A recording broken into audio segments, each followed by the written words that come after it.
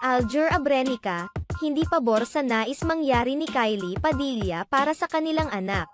Nagbahagi nga ng isang masayang video ang kapuso actress na si Kylie Padilla sa kanyang Instagram account kung saan ay makikita sa video kung paano sila magbonding ng kanyang mga anak.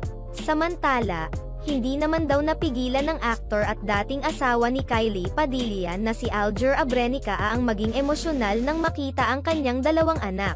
Ayun nga daw ay kay Aljur na masaya daw siya para sa mga anak, dahil alam niya na hindi pa babayaan ni Kylie ang kanilang mga anak. Samantala tanong din si Aljur kung pabor ba siya na pasukin din ng kanyang mga anak ang mundo ng showbiz bilang mga artista. Dahil nabanggit noon ni Kylie sa isang panayam na ayos lang naman daw kay Kylie na pasukin ng kanyang mga anak ang pag-aartista. Ayon naman kay Aljur na hindi daw muna siya pabor sa ngayon na pasukin ng kanyang mga anak ang pag-aartista.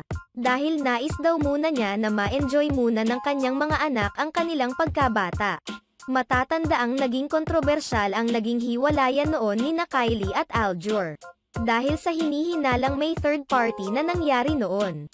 At hinihinalang ang karelasyon ngayon ni Aljur na si AJ Raval ang siyang dahilan ng kanilang paghihiwalay. Ngunit nilinaw naman ni Kylie na hindi si AJ Raval ang dahilan ng kanilang paghihiwalay noon ni Aljur, dahil sadyang napagpasyahan lang talaga nila na tapusin na ang kanilang relasyon.